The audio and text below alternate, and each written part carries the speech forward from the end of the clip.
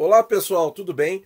Hoje vamos fazer um, uma revisão aí dessa partida Capablanca versus Fonarov. Parece nome russo.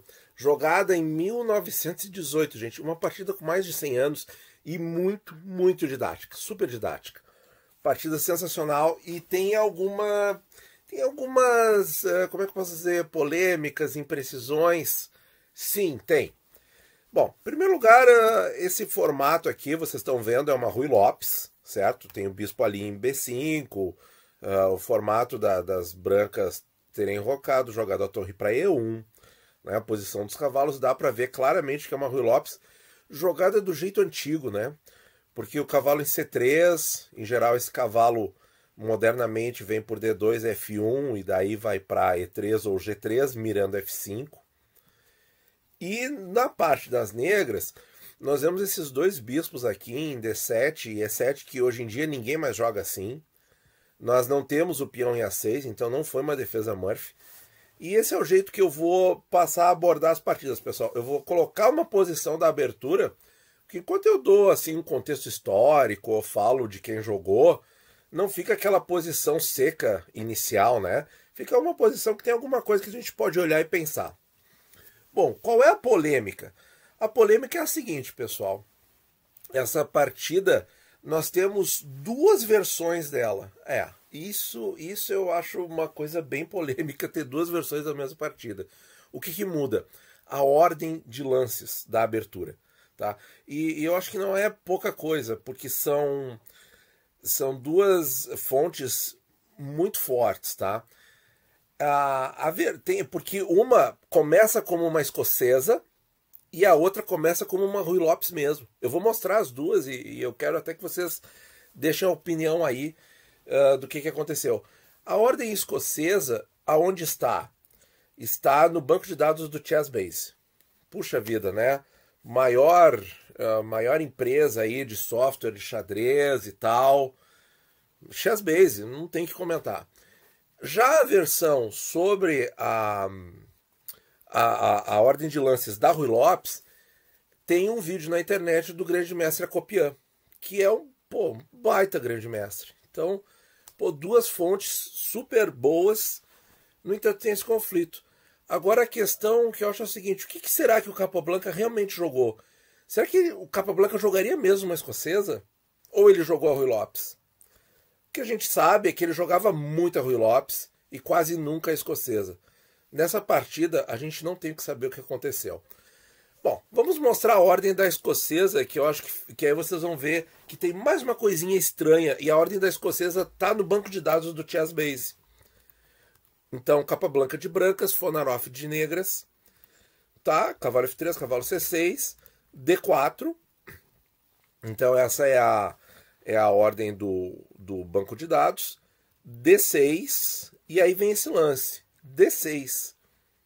Né? Que jogador forte jogaria D6 nessa posição, já permitindo, por exemplo, essa linha aqui.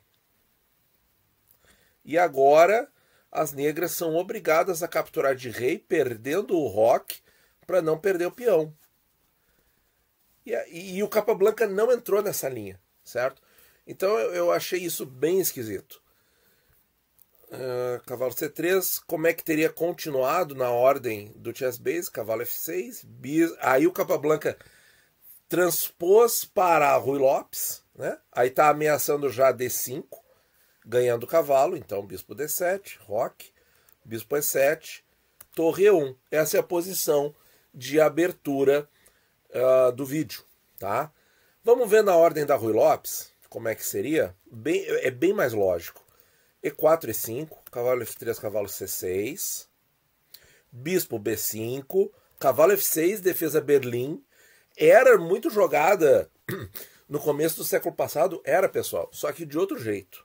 Vocês já vão ver. Rock e D6. Esse é o detalhe.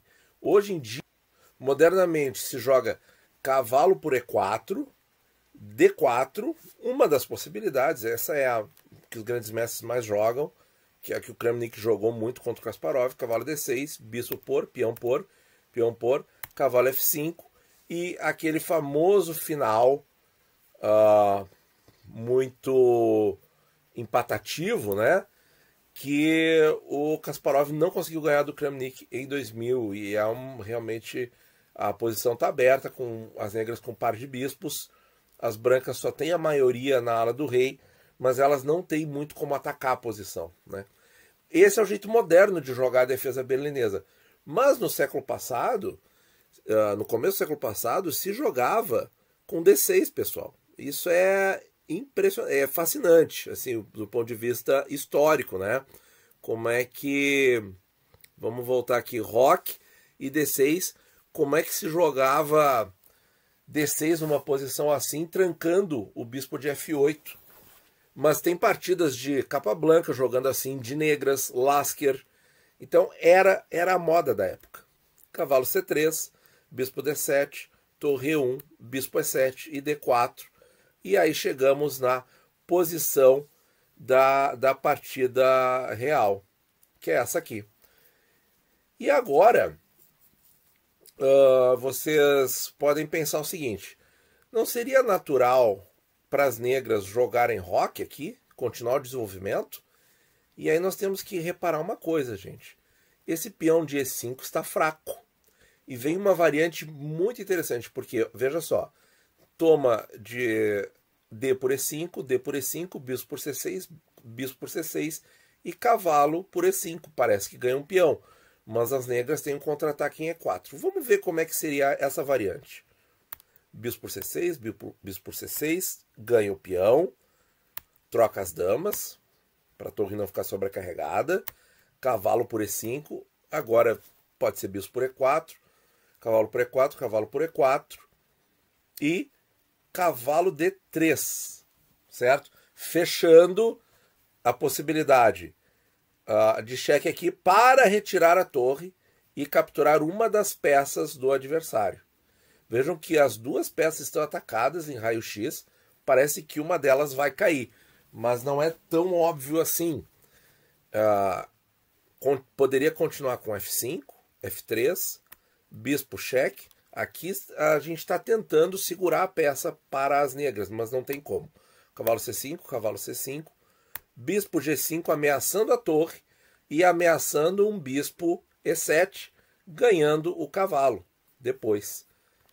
Olha aí como tem recurso. Então, torre defende cavalo, bispo E7, torre F7, e agora o bispo está protegido pela torre e vem C4, retirando uh, desviando a defesa do cavalo em C5 e aí sim as brancas ganham a peça. Olha só que variante interessante. Então, por isso tudo, gente, nessa posição aqui, as negras não devem fazer o rock. Que bacana, hein? Então jogaram E por D4. Veio cavalo por D4. Cavalo por D4, e aqui o recomendável era rock, aqui sim o rock, certo? que dá, dá origem a gente? A muitas posições que se jogava no passado. Com rock, troca tudo aqui, perdão, aqui, aqui e aqui, certo? Em que as brancas vão tentar aí jogar nas debilidades das negras. Bom, o que foi jogado na partida, então, veio cavalo por D4, dama por D4, bispo por B5 e cavalo por B5. Olha só, gente, comparando o jeito moderno de jogar a berlinesa com essa posição, a gente vê que realmente não tem por que as negras entrarem numa posição tão restrita assim. Olha a vantagem de espaço que as brancas têm, né? Veio o rock. E agora, pessoal, é aquele momento em que as brancas têm que traçar um plano. E a gente está vendo uma partida do Capa Blanca de brancas, então uh, dizia-se que ele jogava com a mão, né? Eu fico imaginando realmente fazer esse lance, né? Que parece uh, o que a posição mais pede aqui, gente. O Capa Blanca acertou. E nós temos como referência uma partida do Tahashi, que era um dos melhores jogadores do mundo na, nas primeiras décadas do século passado, que ele não jogou esse plano do Capablanca, tá?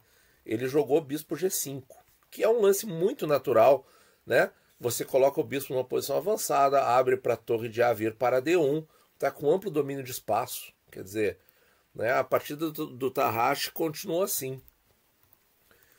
Certo? Então, uh, vai para simplificações, fica esse cavalo dominante aí, depois vem para F5 e tal. Tem mais simplificações, mas o Tarrashi acabou ganhando. Mas tem um plano muito melhor aqui, certo? Eu vou dar uma dica. É, tem a ver com melhor posição de peça, melhorar a posição de uma peça, melhorando toda a posição. Se você quiser dar pausa para ver, porque a gente pode tentar assim, a gente pode perceber qual é a peça e aonde ela estaria melhor colocada. Que eu acho meio certo já. E a outra questão seria como fazer isso. Que aí seria outra o outro, a outra parte do certo, né? Então pode dar uma pausa. Então agora com a resposta é o seguinte, gente. Qual é a peça? É esse cavalo aqui. Esse cavalo, ele tá muito bonito, tá numa posição imponente, mas uh, ele não tá fazendo muita coisa, certo? Onde que ele faria muito mais? F5, gente. F5. Esse é o ponto. F5 na ala do rei para perturbar a vida aqui da defesa ele estaria muito melhor colocado. Então, melhorando a posição dessa peça, melhora o jogo todo. E aí, como fazer esse cavalo chegar lá? C3, uh, D5, E3, F5? Não. Até porque permite uma troca no meio do caminho. E olha, leva quatro lances. Não, não é assim. Certo? O caminho é por D4 e F5. Só que a dama tá no caminho, né? E aí o Capablanca, por isso que a gente diz, ele jogava com a mão, né? Olha aí, pessoal, dama C3. Abriu a casa para o cavalo passar e atacou o peão de C7, certo? Ganhando tempo. Então é, é impressionante, né? Ele jogava com a mão, fez um lance muito melhor que o Tarrashi, que era um dos grandes jogadores do mundo, tinha jogado essa posição oito anos antes. E o Capablanca simplesmente com dama C3 lance novo na época, novidade na época, certo? E é o jeito de jogar essa posição. C6, cavalo D4. Claro, aí as negras têm que defender o peão, né? Uh, e agora elas começam a cometer algumas imprecisões e o Capablanca vai ganhar magistralmente. Cavalo D7. Esse lance aqui já é criticável porque ele, enfim, tira o cavalo ali da, de uma posição boa, não tem porquê certo? Muito melhor teria sido torre E8, uh, ah, visando a responder cavalo F5 com bispo F8, protegendo G7. E agora como é que protege G6, né? Porque esse bispo pode em seguida ficar sobrecarregado. Vem bispo G5, torre E6. Aí, esse é o lance que e dama D3, que a posição está igualada, certo? Tem que jogar esse torre E6, porque a torre vai fazer aqui, vai liberar a dama da cravada, vai defender D6 e vai estar tá aqui com uma certa atividade. A posição até até poderia repetir com cavalo D4 F5 e torre E6 E8, né? Mas, enfim, posição aqui estaria bem igualada, com torre E8, com a ideia de bispo F8, que é um recurso muito usado na Rui Lopes para justamente defender o ponto de G7 e às vezes uh, jogar G6 e bispo G7, que é uma ideia muito comum para as negras nessa posição da Rui Lopes, nesse tipo de posição de Rui Lopes. Então, uh, Capa Branca jogou cavalo D4, Fedorov jogou cavalo D7 e agora, simples, cavalo F5, ameaçando checkmate em G7. Vejam como a, a defesa desse ponto já fica estranha, porque agora já não fica posicionalmente agradável. Ele teve que jogar bispo F6. E assim, ó, com uh, e as peças já negras já começam a aparecer desorganizadas. Veio dama G3, cavalo E5, bispo F4, desenvolvendo e abrindo aqui para torre D1, dama C7, torre de AD1, torre de AD8. Muito bem. Nesse ponto, pessoal, o Capablanca tem uma pequena combinação aqui, da, que não é a que fecha o jogo. A que fecha o jogo é espetacular. Se você quiser dar uma pausa e tentar descobrir. Bom, pessoal, a resposta: torre por D6, certo? qual é a qual é a jogada aqui? Veio, aconteceu na partida. Ele aceitou uh, a captura, uh, o sacrifício, né? Claro, não vai tomar de dama porque o cavalo captura a dama, né? Então, bispo por E5. E aqui é que está o problema. Se as negras capturarem agora esse bispo, elas estão perdendo peça. Porque vem a dama ali. E agora? Está ameaçando o checkmate em G7 e está ameaçando a torre em D6 com a dama e o cavalo. Então tem que fazer alguma coisa para defender o checkmate. Por exemplo, F6, e aí as brancas estão com peça a mais e final completamente ganho. E ainda tem maioria na ala do rei para ajudar, né? Muito bem. Então o que que o Fedorov jogou? Jogou torre D1. Jogou torre D1 porque aí é o seguinte, ele está tentando pregar uma peça no capa blanca, né? Bispo C7. Vamos fazer o lance aqui. Bispo C7. Torre por E1, mate de gaveta. Como se o capa blanca fosse cair nisso, né? Bem, uh, então não deve tomar a, a, a dama, certo? Essa, esse sacrifício de dama aí é muito envenenado. Capa blanca tomou a torre. E aí veio bispo por E5. E aí, de repente, o nosso amigo Fonorov pensou que estava tudo resolvido, certo? G7 está defendido, ele tem uma bela diagonal, uma bateria aqui. Quando a dama sair da, desse ataque, H2 cai, o rei parece seguro, mas agora é que veio o lance ganhador da partida, pessoal. Esse lance, assim, vale a pena tentar descobrir, dar uma pausa e agora a resposta, gente. Parabéns se você achou cavalo H6 cheque, porque isso aqui envolve uh, uma combinação com vários elementos, certo? Nós temos envolvidos aí sacrifício de dama e checkmate de gaveta, agora nas negras. O Fonorov jogou rei H8. E aí, para jogar o cavalo H6, tem que ter. Porque agora assim, ó. Se não fizer o próximo lance, perde o cavalo. Certo? E aí tem a bateria das negras na diagonal H2, B8. Então esse lance pode dar uma pausa. Dama por E5. Tem que, aí sacrifício de dama. Olha que beleza, pessoal. Por quê? Porque tem que tirar quem está defendendo F7. E o rei já está no canto. O rei já está numa posição de levar um gavetão. Se a gente tirar a dama e a torre dali, a branca ganha. Vem dama por dama, então aceitou o sacrifício de dama. E agora a jogada vencedora, pode dar uma pausa também. Cavalo por F7. E aí o Fonorov abandonou. Olha aqui, pessoal.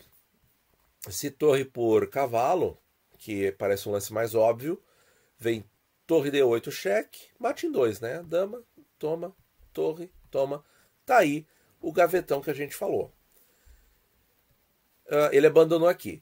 Se por outro lado mexe o rei para sair do cheque, vem cavalo por dama e o que, que nós temos no tabuleiro? Uma posição absolutamente ganha para as brancas, com quatro contra dois peões na ala do rei e um cavalo a mais. Então, gente, que partida, hein? Partida de mais de 100 anos, super didática, com essa pequena polêmica da, da ordem de lances. Me diz o que, que você acha. Você acha que o Capablanca jogou uma escocesa? Ou ele jogou uma Rui Lopes uh, Berlim do jeito que eles jogavam antigamente com D6? Deixa a opinião no comentário que eu quero saber. Muito obrigado por ouvir e bons jogos a todos.